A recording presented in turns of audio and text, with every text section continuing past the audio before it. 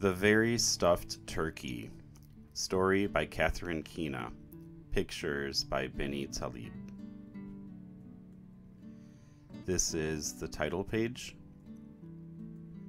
For Sarah, Sam, Eli, Christy, and Benjamin, with much love. To my beautiful family, none of whom are turkeys, my constant inspiration. It was Thanksgiving morning, and Turkey had a problem. Pig, horse, goat, and sheep, cow, and mouse had each invited him to Thanksgiving dinner at their homes. Turkey loved his barnyard friends and didn't want to hurt anyone's feelings. He was going to everyone's house.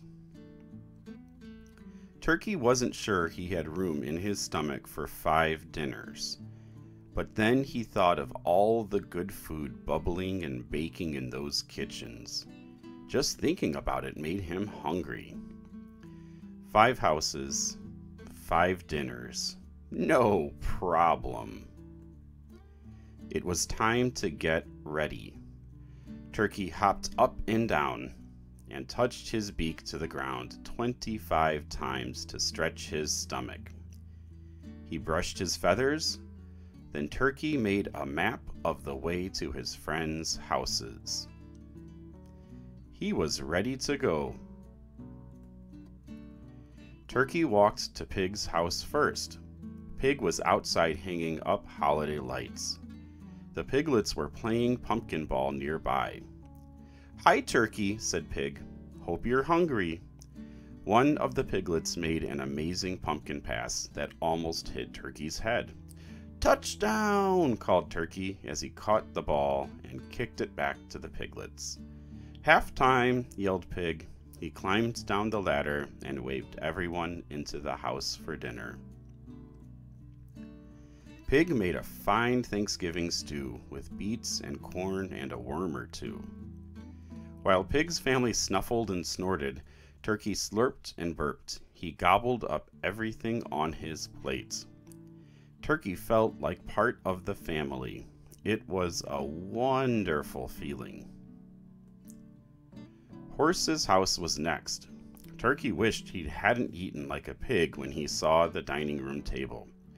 It was covered with plates of oatcakes and hay, carrots, sugar cubes, and pumpkin and apple pies. While Horse's family munched and crunched, Turkey mashed and mixed. He gobbled up everything on his plate. I have an idea, Horse said after dinner. Let's have a race. Turkey didn't think that was a very good idea. He was too full to trot, and his tummy was feeling funny. While Horse's family raced ahead, Turkey hopped and fluttered behind them. But he didn't get too far so Horse gave Turkey a ride under fall leaves as colorful as candy.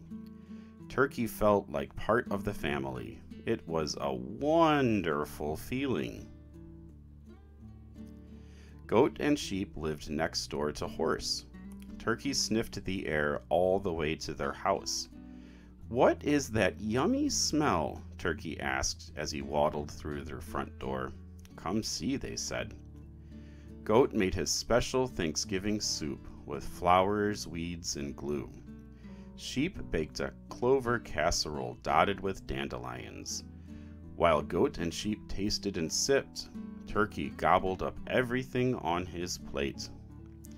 That soup was sticky, said Sheep. Dandelions taste fuzzy, said Goat. Turkey said, Dinner was delightful, but he thought he might explode. They played hide and seek indoors after dinner. Goat and sheep kept peeking, but Turkey won every time. Turkey felt like part of the family. It was a wonderful feeling. Turkey was too late for dinner when he got to Cow's house. They were getting ready for dessert. Cow's family was crowded around the kitchen counter. They were all holding spoons and ice cream cones. There were cartons of ice cream everywhere, and so many flavors it looked like a rainbow. Ready? asked Cow. She handed Turkey a cone and spoon. For what? Turkey said. Our family's Thanksgiving ice cream cone contest, said Cow. The tallest cone wins. Ready, set, go! Ice cream flew through the air. Everyone was shouting, pushing, and laughing. The kitchen was a mess. Turkey felt like part of the family. It was a wonderful feeling. Turkey had one house left to go Mouse's. When he got there, the table was crowded with mothers and fathers, sisters and brothers, grandparents, cousins, uncles, and aunts. Happy Thanksgiving, Turkey, they shouted. Dinner was a feast of birdseed, soap, and berries, while Mouse's family went nibble, nibble, taste, taste. Turkey gobbled up everything on his plate. Now comes the best part, said Mouse. What? asked Turkey. He hoped it wasn't ice cream. Our family's Thanksgiving parade, said Mouse. They put on their coats and boots, blew up balloons, and handed a drum to Turkey. Turkey was so full he thought they could use him as a balloon. A gigantic floating turkey. When everyone was ready, the Mouse family parade marched out the door with Turkey at the front of their long, noisy line.